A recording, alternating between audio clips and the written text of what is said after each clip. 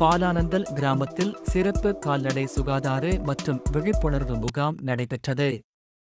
திருவண்ணாமலை அடுத்த பாலானந்தல் கிராமத்தில் கால்நடை பராமரிப்பு துறை சார்பில் சிறப்பு கால்நடை சுகாதார மற்றும் விழிப்புணர்வு முகாம் ஊராட்சி மன்ற தலைவர் மாணிக்கவேல் தலைமையில் நடைபெற்றது. இதில் இரத்தம் மாதிரி எடுத்தல் செயற்கை கருவூட்டல் குடல் புழு நீக்கல் கால்நடை பரிசோதனை ஊட்டச்சத்து மாவு சிறந்த முறையில் கிடாரி கன்று வளர்த்து வரும் மூன்று நபர்களுக்கு பரிசுகள் வழங்கப்பட்டது. அதைத் தொடர்ந்து கால்நடைகளுக்கு நோய் தாக்காமல் இருப்பது குறித்து தடுப்பூசி பற்றிய விழிப்புணர்வு பொதுமக்களுக்கு ஏற்படுத்தப்பட்டது. இதில் இருநூறு மைனஸ்க்கும் மேற்பட்ட கால்நடைகள் பயனடைந்தன.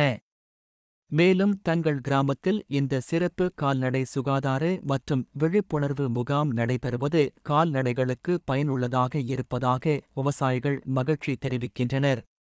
நிகழ்ச்சியில் கால்நடை மருத்துவர் வெங்கடேசன் மற்றும் கால்நடை மருத்துவக் குழுவினர் கலந்து கொண்டனர். ராமகிருஷ்ணன் செய்தியாளர் திருவண்ணாமலை. இல்ல, ஊசி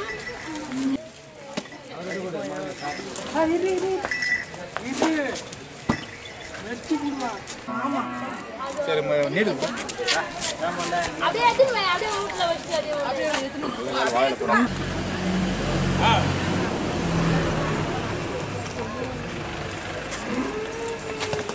புடி புடி